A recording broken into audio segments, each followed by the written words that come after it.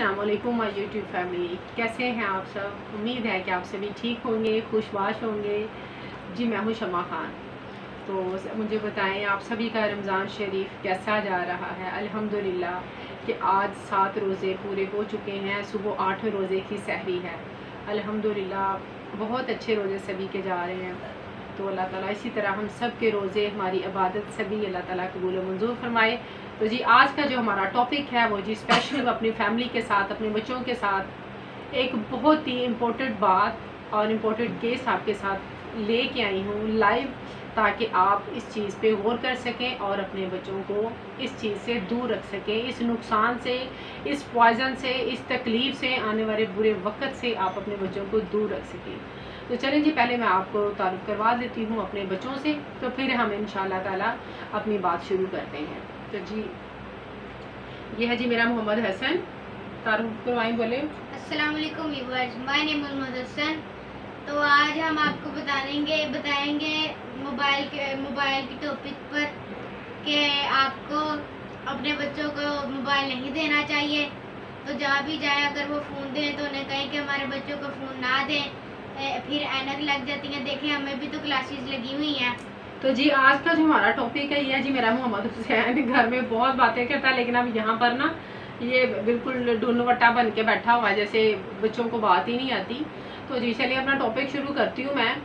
तो हमारा जो टॉपिक है, वो है जी, बच्चों को मोबाइल मत दें, कि बच्चों की आई सेड वीक क्यों होती है? उसकी रीज़न मैं आपके सामने, मैं खुद एक मदर हूँ, तीन बच्चों की मैं माँ हूँ तो आपके साथ शेयर करना चाहती हूँ कि ये मेरे बच्चों की, दोनों की आई सेड किस तरह वीक हुई है और उसके पीछे किसका हाथ था।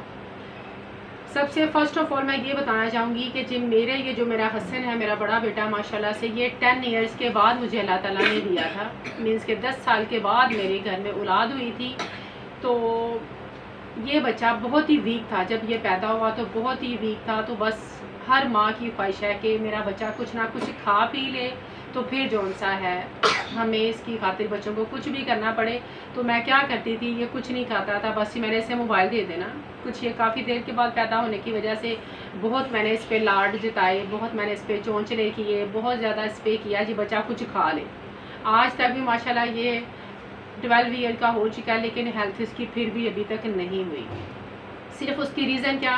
कि इसने कुछ ना खाना, मैंने इसे फ़ोन दे देना। अगर इसने फीडर पीना सीरीलैक दूध, खिचड़ी, कुछ भी था, ये साढ़े तीन साल का था तो इसकी जो आईसेड थी, वो ख़राब होना शुरू हो चुकी थी। चार साल तक छः माह जो सा मेरे बच्चे की, इसी तरह आईसेड वीक होती रही, चलती रही तो मुझे समझ ना आई कि मेरे बच्चे को क्या मसला है। उसकी रीज़न थी जी मोबाइल, ठीक है? तो बस यही काफ़ी देर छः साल तक ये पीरियड चलता रहा कि जी मोबाइल दे देना फीडर दे देना, बच्चों को खुराक मैंने खिला देनी कि ये कुछ खा लें, ठीक है जी। तो फिर मैंने इसे जी स्कूल एडमिशन करवाया।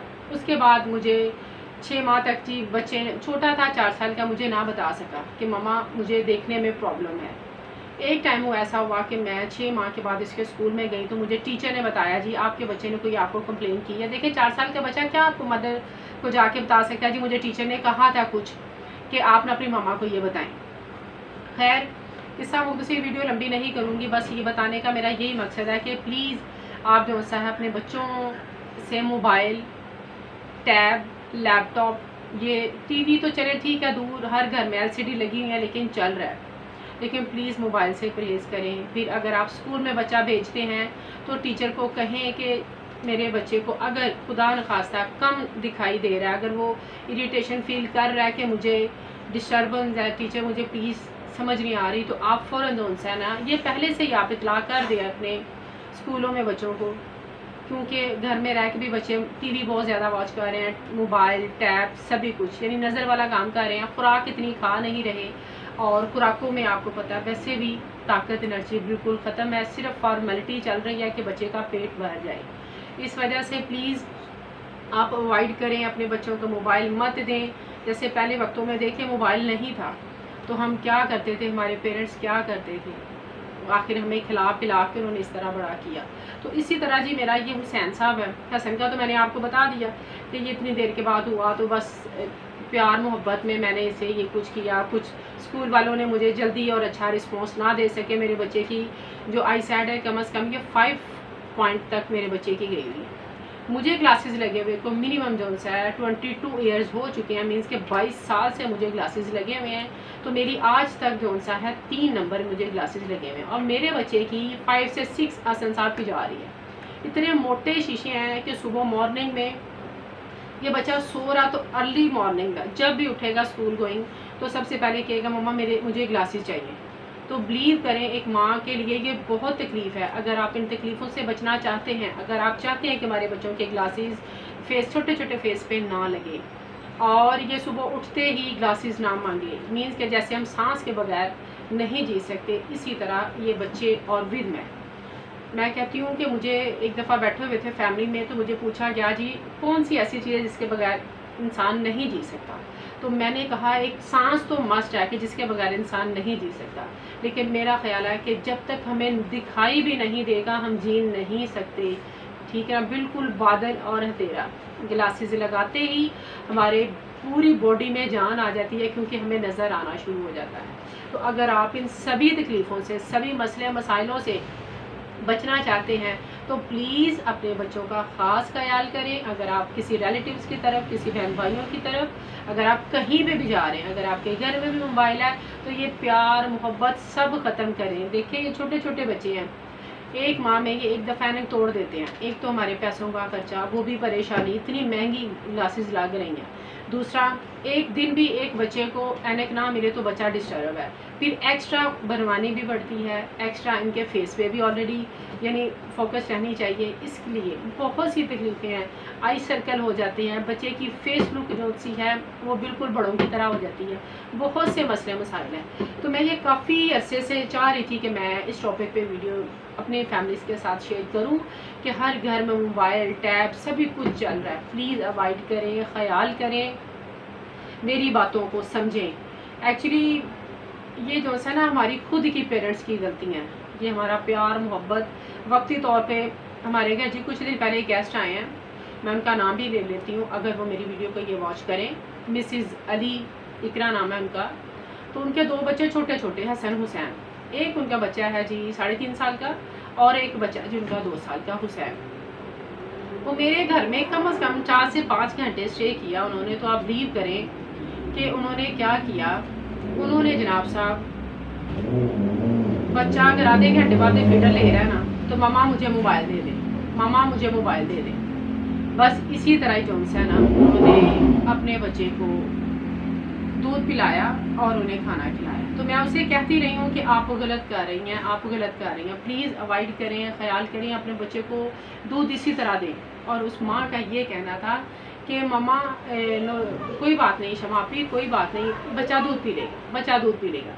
यानी मुझे अपना वक्त याद आया कि जैसे मैंने अपने बच्चों को लाड प्यार से कि सिर्फ़ एक फीडर की खातिर, एक थोड़ी सी डोज की खातिर, हम हमेशा के लिए अपने बच्चे को अंधा कर देते हैं। मेरा ये कहना है कि ज़िंदगी में शायद किसी चीज़ की वापसी हो जाए, लेकिन ये नूर आँखों का एक ऐसी नेमत है खुदा की, ये कभी भी वापस नहीं हो सकता, आप कुछ भी करवा लें। एक एज का ऐसा इफ़ेक्ट है कि अगर आप लेंस डलवा लें ऑपरेट करवा लें या कुछ भी तो कुछ बंदा मानने को आ सकता है। लेकिन इतने बच्चों की जब तक ये एटीन ईयर्स के ना हो चुकेंगे, इनका ऑपरेट नहीं हो सकता। इस वजह से मैं दिली अफसोस के साथ सभी देखने वालों को, सभी को रिक्वेस्ट करूँगी कि प्लीज़ बच्चे को भूख लगेगी वो खुद खा लेगा। बच्चे को बाहर जाके टैल मटोल करके आप जो सा है बच्चे को खुराक खिलाएँ, कुछ भी खिलाएँ, लेकिन बच्चे को प्लीज़ मोबाइल मत दें, क्योंकि हमारे बच्चों की आइज़ जो सी है, हर चीज़ की एक ग्रोथ का टाइम होता है। बचपन में छोटे होते जो जो इन्होंने बढ़ना, आखिर हर चीज़ ग्रोथ करेगी। और हमारे जो आई लेंस हैं, वो आपको जो है एक ही जगह फोकस होकर बच्चों को ना यूज़ तक करेगी, अपनी तरफ़ और आई साइड को वीक करेगी। इस वजह से मैं बस ये अपनी वीडियो का अब एंड करूँगी और आपने मेरी वीडियो और मेरी बातों को प्लीज़ इसे ज़रूर ध्यान करें ख्याल करें और इस जहर से इस मुसीबत से बहुत सी परेशानियों से आप छुटकारा पा सकते हैं। तो चलें जी इंशाल्लाह फिर मिलेंगे एक अच्छी सी रेसिपी एक अच्छे से ब्लॉग के साथ। ये तो ये है जी मेरे बच्चे आप भी प्रे करें कि इनकी भी आईसाइट ठीक हो जाए। सॉरी ठीक हो जाए वीक नहीं हो जाए वीक तो ऑलरेडी से है ही। बस ठीक हो जाए। तो अपने बच्चों का ख़ास ख्याल रखें। बहुत प्यार दीजिएगा मेरी तरफ़ से अपने बच्चों को। और इन फिर मिलेंगे आपके साथ एक अच्छी सी रेसिपी एक अच्छे से व्लॉग के साथ। खुदा